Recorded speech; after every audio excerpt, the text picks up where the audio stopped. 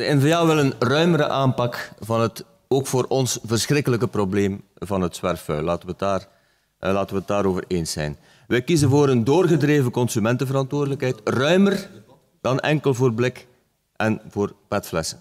Eén, we willen dus ook dat ander zwerfvuil uh, willen we weghalen, ook zakjes, folies enzovoort, mevrouw de minister. Uh, ik heb hier nog geen concrete voorstellen over gehoord. Hè.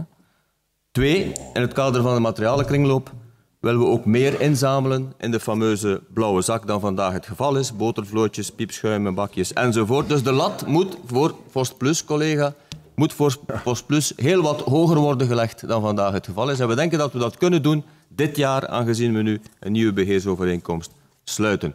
Goed. Ook daar heb ik nog niemand concreet over horen spreken. Dus kort, voorzitter, wat willen wij? We willen verder gaan. We willen verder gaan in de aanpak van het zwerfvuil dan alleen statiegeld. Zo eenvoudig is dat. Goed, mevrouw Meuleman. Ja, meneer Van Dalen. De trofee van chef van het jaar gaat uh, nu toch wel al naar u. Uh, dat kan ik nu al zeggen.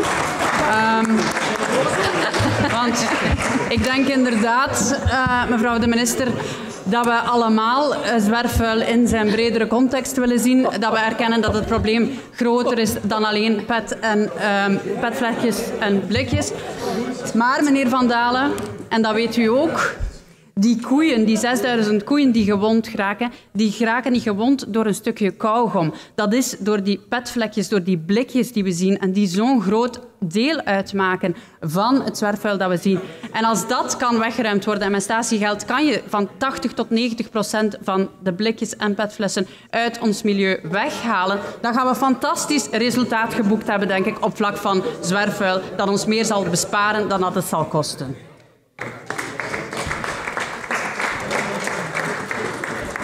Mevrouw Meuleman, mijn dag kan niet meer kapot. Dan... Uh...